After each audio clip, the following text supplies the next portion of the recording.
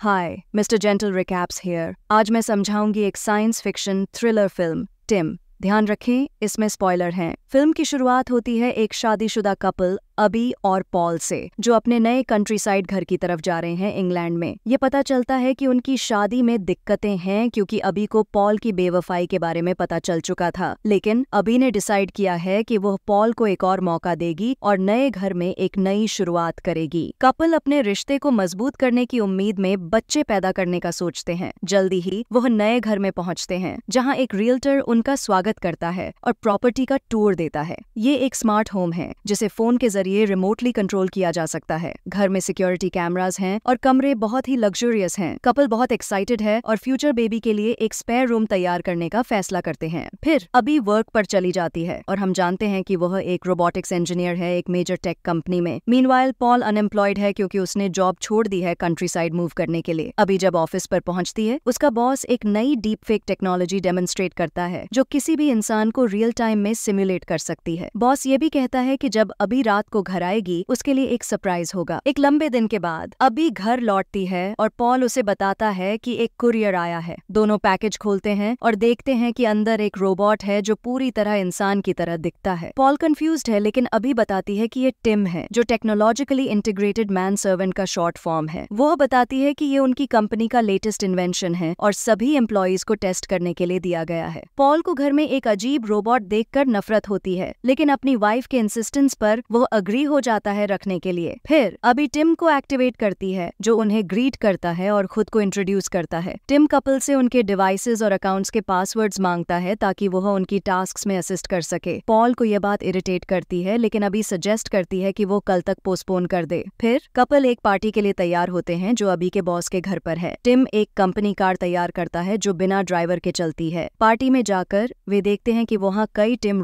Robots हैं जो बिल्कुल सेम दिखते हैं। अभी को जल्दी से अपने बॉस और इम्पोर्टेंट लोगों के पास ले जाया जाता है, जबकि पॉल अकेला रह जाता है। अभी अपने बॉस को टिम भेजने के लिए धन्यवाद कहती है, लेकिन बताती है कि उसके हस्बैंड ने रखने के लिए हेजिटेट किया था। बॉस रिप्लाई करता है कि ये सभी के लिए मैंडेटरी है और कहता है कि अपने प्रोडक्ट्स को प्रमोट करना मुश्किल होगा अगर अपने एम्प्लॉयज़ नहीं यूज़ करेंगे। जब कपल घर लौटते हैं, वे सीधा बेडरूम में जाकर इंटीमेट हो जाते हैं, लेकिन टिम अचानक उन्हें इंटरप्ट करता है और पूछता है कि क्या हो रहा है, क्योंकि अभी का हार्ट रेट बहुत हाई है। वो अस्यूम करता है कि अभी बीमार हो गई है। लेकिन कपल हंसकर उसे अश्योर कर देते हैं कि सब ठीक है और टिम को वहाँ से भेज देते हैं। अगली सुबह जब वे उठते हैं तो देखते हैं कि टिम ने ब्रेकफास्ट तैयार किया है और डिशेस क्लीन कर दी हैं। तभी उनकी नई नेबर रोज घर आती है और अभी को हाउस वार्मिंग गिफ्ट देती है। अभी उसे अंदर बुलाती है ताकि अपने हस्बैंड से मिलवा सके। लेकिन रोज कहती है कि उसने पहले ही मिल लिया है। रोज चली जाती है और अभी को ये बात समझ नहीं आती। वो अपने हस्बैंड से पूछती है कि उन्होंने रोज से मिलने की बात क्यों नहीं बताई।